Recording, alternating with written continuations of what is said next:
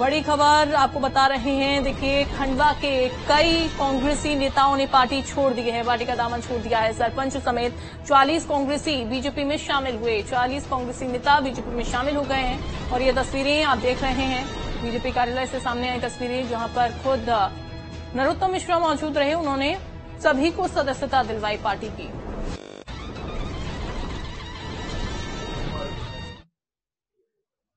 और दादाजी और इंदिरा गांधी का मंदिर बनवाया था।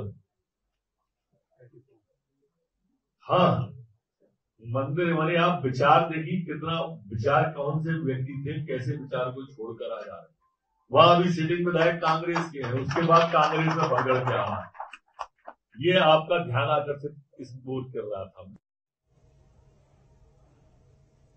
अमेठी से स्मृति ईरानी ने नॉमिनेशन भर दिया है। सीएम मोहन नामांकन में शामिल हुए। बता दें कि नामांकन से पहले बीजेपी का शक्ति प्रदर्शन दिखा। रोड शो में भी शामिल हुए सीएम मोहन यादव। वहीं शक्ति प्रदर्शन बीजेपी का दिखाई दिया। तो स्मृति ईरानी, जो कि नॉमिनेशन फॉर्म जमा करने के लिए पहुँची, लेकिन उससे पहले शक्ति प्रदर्शन, ये फ़र्स्ट तस्वीर जो है, जो पहली तस्वीर है, उसमें आप देख रहे हैं।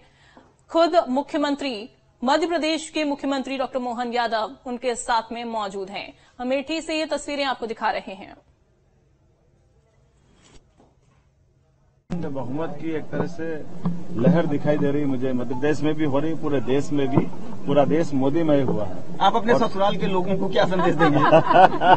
मैं तो यही कहूँगा कि वर्तमान का समय विकास के लिए मोदी जी का हाथ मज़बूत करने का मोदी जी का साथ देने का मोदी जी के साथ भाजपा के साथ चलने का और मुझे जो लक्षण दिखाई दे रहा है निश्चित रूप से स्मृति जी आपकी बार कई रिकॉर्ड तोड़े हमने कहा है कि स्मृति ईरानी जी हमारी ज़बरदस्त प्रत्याशी अब कांग्रेस किसको ज़बरदस्ती लाती मेरे को नहीं मालूम। भोपाल से खबर, जहाँ वीडी शर्मा ने कांग्रेस पर निशाना साधा, राहुल को हार का डर सता रहा है। वीडी शर्मा की ओर से कहा गया, उन्होंने कहा कि